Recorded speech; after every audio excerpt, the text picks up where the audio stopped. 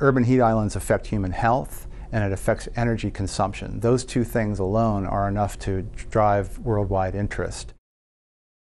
When we build an urban area, we're replacing the vegetated surface and also the soil surface with this impervious surface like the paving material and the building material. By doing this, we're basically uh, warming the urban areas, and this will generate a temperature difference, and that's what we call it urban heat island. We find out that the urban heat island affected by several factors. The first factor will be the surrounding ecological context. And then will be the size of the city. We're talking about size, we can uh, we mean both the area of the city and also the population size of the city.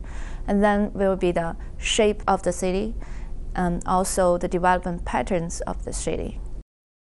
We used a variety of satellite data, both land surface temperature data from MODIS and also impervious surface data from the Landsat satellite. Impervious surface data is essentially tells us how much building material is on the land surface in order to study the urban heat island.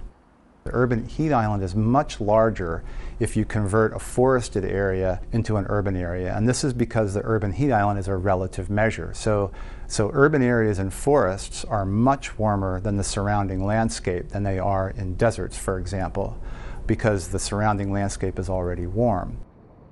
I think the general public should be interested in urban heat islands because of the fact that it's where most of the people live, and in the next 50 years, we're going to see 80% of the global population living in cities.